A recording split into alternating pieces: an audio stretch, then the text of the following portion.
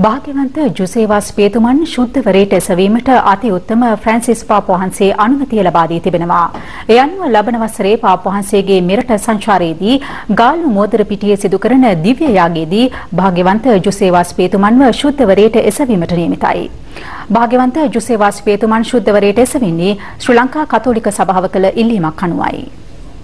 එක්දා සයිසිය පනස්සකේ අප්‍රේල් මස විසියෙක් වන දින ඉන්දියාවේ ගෝවා පුරවරයේ බෙනොලින් ගම්මානයේදී භාග්‍යවන්ත ජුසේවාස් පියතුමන් මෙලොව එළිය දකිනවා. ශ්‍රී ලංකාව ලන්දේසී ආක්‍රමණයට නතුව තිබූ වකවානුවේදී එතුමන් මෙරටට පැමිණෙන්නේ කිතු දහම ව්‍යප්ත කිරීමටයි. වසර විසි හතරක් පුරා මෙරට කතෝලික දහම දේශානුකරණය කරමින් මහනුවරදී සග සැපත් වූ ජුසේවාස් පේතුමන්ගේ සේවය අදටත් කතෝලිකයන් සිහිපත් කරන්නේ මහත් ගෞරවයෙන්.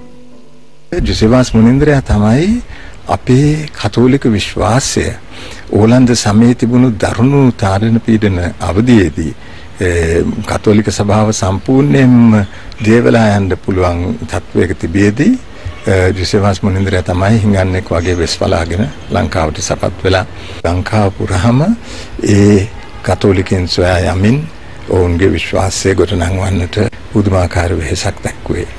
ප්‍රාතිහාරයන් හේතුවින් ජුසේවාස් පේතුමා වන්දනීය භාවයටත් ඉන් අනතුරුව භාග්‍යවන්ත භාවයටත් ඔසවනු ලබනවා. අනතුරුව ශ්‍රී ලංකා කතෝලික සභාව කළ ඉල්ලීම අනුව පියවරෙන් පියවර පැමිණි භාග්‍යවන්ත ජුසේවාස් පේතුමා ශුද්ධ වරයට එසවීමේ කර්තව්‍ය මේ වන විට ඇත්තේ අවසන් මට්ටමේ. යන අපි ක්ෂණිකවම සූදානම් කර තිබෙනා උදයක් තමයි ලබන ඉරිදාට සෑම දේවස්ථානයකම ලංකාව පුරාම සීනු නාද කිරීමටත් ස්තුති පිදීමේ යාඥා යොමු කිරීමටත් සිදු කරන්නට නියමිතව තිබෙනවා. මේ සියල්ලකගේම අවසාන සහ වැදගත්ම අවස්ථාව වශයෙන් අපි සඳහන් කරන්නේ ගාලු මුවදුර පිට්ටනියේදී පාප් වහන්සේ විසින් සුද්ධවරයට ප්‍රකාශයට පත් කිරීමේ නිල උත්සවයයි.